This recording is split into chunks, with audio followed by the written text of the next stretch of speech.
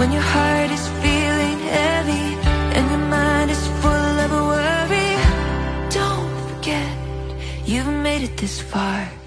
You never know what's on its way to you. Never know what's around the corner.